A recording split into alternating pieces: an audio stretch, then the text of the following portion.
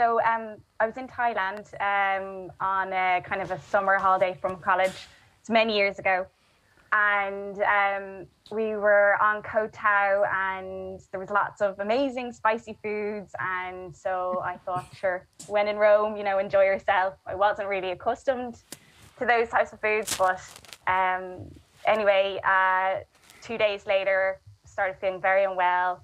My tummy was not great, as my mom calls it. You have a dicky tummy, um, and so yeah, I spent the next day uh, in the bathroom, um, and while the girls were all sunbathing on the beach, and I decided I started feeling better, so I thought I'd go out to the the beach, and um, uh, about 20 minutes later, it felt unwell.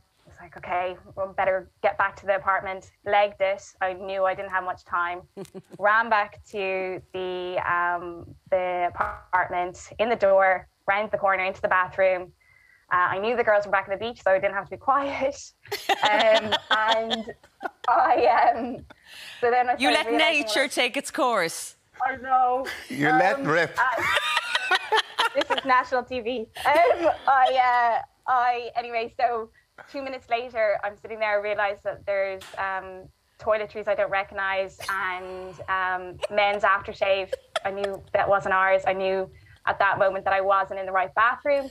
I um, realised that and I thought, okay, look, if I can just get out of here and no, no one will ever notice and no one will ever hear this story ever again but I walked around the corner of the bathroom and there was a couple sitting in the bed staring at me. Um, I think they were German. And um, I, I didn't know what to say. I didn't know how to explain myself. They looked in shock, they didn't know what to say either. We just stared at each other for like a moment and then I didn't know. I just ran. I ran. Well, And left, all, left Sarah- all the evidence behind.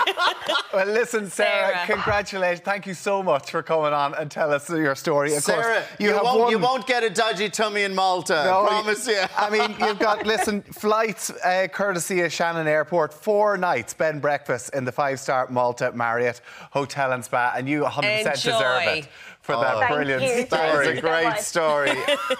I mean, I feel sorry for that poor couple. If they're watching this morning, we'd love to hear from them as well.